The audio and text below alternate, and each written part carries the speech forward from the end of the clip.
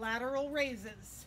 You can use soup cans, you can use water bottles or weights. Don't lift the weights higher than your shoulder. L, lateral raises.